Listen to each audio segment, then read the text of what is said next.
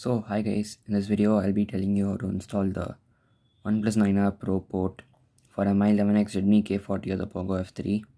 So the prerequisites are you need an unlocked bootloader and you can be on MIUI or any other custom ROMs.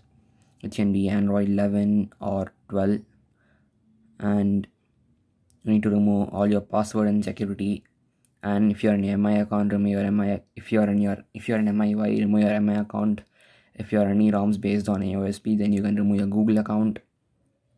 Then once after that is done you can you need to download this firmware part and OnePlus 9R Pro port ROM zip and TWRP and after all files are downloaded you can go ahead and reboot your phone to recovery by pressing the power button and clicking on reboot. Keep on pressing the power up button so that your phone will reboot into recovery so the TWRP has booted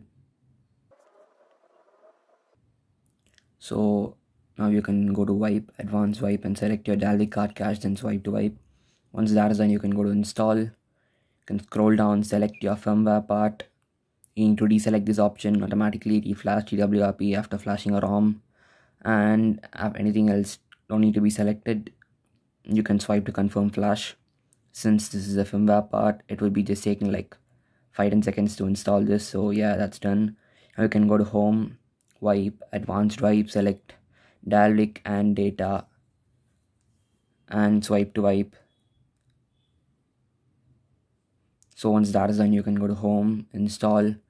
You can select your rom zip and don't select anything else. Then just swipe to confirm flash. This rom is a bit high mean more in size so you need to wait for the rom to get flashed which will be taking two three minutes. So please wait patiently. So once that is done you can ignore these fail to mount errors and go to home advanced install recovery ram disk. You can select on this image your twrp image and then swipe to install. So once that is done you can go to home reboot and you can select your recovery. Let's wait for your phone to get booted into recovery so as you can see the boot logo itself has changed. So here we go twrp has booted. Let's go to wipe. Okay this is just a touch driver which will get fixed in five seconds so let's wait for that. Yeah now go to wipe. Let me make it clear. Go to format data then type in yes. This will result in wiping out all your data pictures and documents so make sure to have a backup of them. Now once that is done you can reboot the system. So as you can see it's the OnePlus boot animation. So here is it. The ROM is booted successfully. So let me just quickly set up this phone.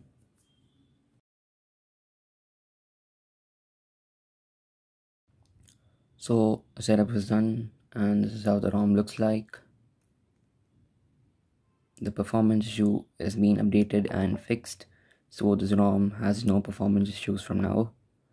And let's go ahead and see the about phone.